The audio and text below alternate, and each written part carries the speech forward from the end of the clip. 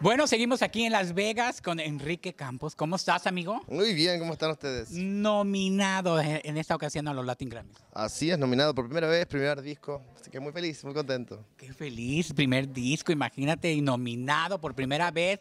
Qué emoción. y... Todo barranca abajo acá. Oye, y platícame, ¿cómo, qué fue tus emociones, tus sentimientos cuando te dijeron estás nominado al Latin Grammy? Eh, hay un error.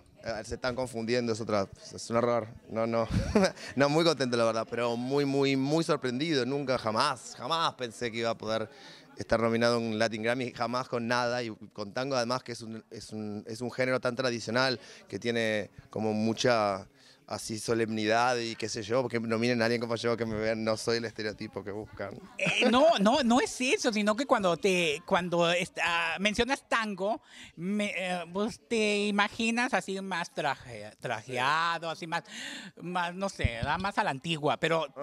yo te veo y digo, ay, el rock en español, o metálica, o algo, ¿no? Eh, por ahí en un futuro, pero por ahora es tango. Pero lo hacemos así, porque la verdad que es, ese estereotipo del cual hablas, que es muy común en el mundo, eh, es, solamente una parte. El tango tiene otros lados y tiene una parte mucho más urbana y mucha más llena de pasión. Y eso es lo que estamos tratando de recuperar y que la pueda cantar alguien como yo, así, con este look y que sé cuánto bien. Eso sí. yo creo que tú le das ese toque especial, único, que se puede decir que en, lo único, en, la industria, algo único a esto, lo que es el tango.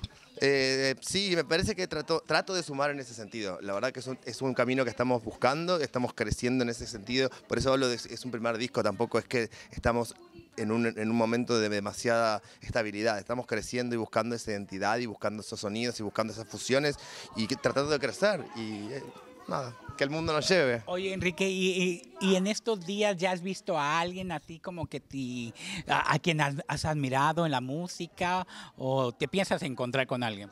No, voy a saltarle encima a toda la gente que me cruce. Especialmente me gustaría mucho verla a Rosalía porque ella ha hecho con el flamenco algo parecido a lo que estamos buscando hacer con el tango, que es cambiarlo, fusionarlo un poco, pero sin perder la esencia, así que voy a tratar de conocerla a ella. Pero después también si le voy a Ricky Martin le voy a saltar así encima. bueno, a ver si el marido no te te, da una cachetada por ahí. Solamente le salto una vez. pero, si, pero si él te busca, el marido ¡ah! te busca y te, no te creas. Una, me, me van con una paliza una vez. lo vale. Oye, Enrique, te deseamos todo lo mejor en esta nominación. Que te lo lleves porque eres algo único, algo este, diferente, pero este, sobre todo muy, pero muy pasional en lo que estás haciendo, en la música, en el tango. Muchísimas, muchísimas gracias, les agradezco por haberme tenido y nada, ojalá, ojalá, ojalá la vida. Vamos a que sí, ok. Sí, sí, sí. Los botijones de la farándula te deseamos todo lo mejor. Muchísimas gracias a los botijones. Ya, los botijones, porque tú no estás botijón, tú no, no eres ni una pierna, ¿verdad? Pero vámonos, nos despedimos muchachos de aquí de Las Vegas. los botijones de la farándula.